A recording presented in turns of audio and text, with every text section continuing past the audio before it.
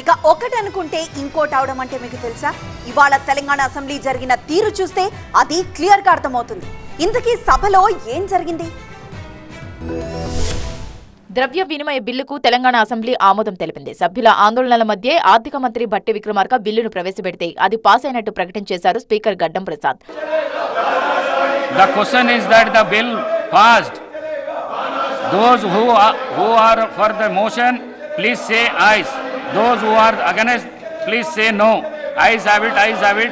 The motion is carried and the bill is passed. సభ సమావేశం మీదైతే అక్కడ జరిగింది మరోటి. ద్రవ్య వినిమయ బిల్లుపై మొదలైన చర్చ పూర్తిగా సైడ్ ట్రాక్లోకి వెళ్ళిపోయింది మూసీ ప్రాజెక్ట్ ఫార్మసిటీ ప్రభుత్వ పాలసీలు వరుసగా జరుగుతున్న హత్యలు ఆత్మహత్యలు హాస్టల్స్లో విద్యార్థుల ఇబ్బందులు రాష్ట్రానికి రావాల్సిన పెట్టుబడులు ఇలా ఒకదాని తర్వాత ఒకటి డిఫరెంట్ టాపిక్స్ డిస్కషన్లోకి వచ్చేయడం సభలో మాటల వేడి పుట్టించాయి. ప్రతి అంశంపై విపక్షం విమర్శలు అందుకు ప్రతిపక్షం నుంచి కౌంటర్లు ఆద్యంతం కొనసాగాయి. ఓ దశలో కేటీఆర్ వర్సెస్ రేవంత్ అన్నట్టుగా మాటల యుద్ధం నడిచింది. విద్యార్హతల విషయంలో ఇద్దరి మధ్య కొద్దిసేపు వాగ్వాదం నడిచింది. అయితే కేటీఆర్కు కౌంటర్గా బీఆర్ఎస్ మహిళా సభ్యులను ఉద్దేశిస్తూ రేవంత్ చేసిన వ్యాఖ్యలు సభలో పెద్ద దుమారమే రేపాయని చెప్పొచ్చు. ఈ అంశం అధికార ప్రతిపక్ష సభ్యుల మధ్య యుద్ధానికి తెరలేపింది. తక్షణం రేవంత్ క్షమాపణ చెప్పాలంటూ వెల్లోకి వెళ్ళి ఆందోళన చేపట్టారు బీఆర్ఎస్ సభ్యులు. ఎంత చెప్పినా వినకపోవడంతో సభను కాసేపు వాయిదా వేశారు స్పీకర్.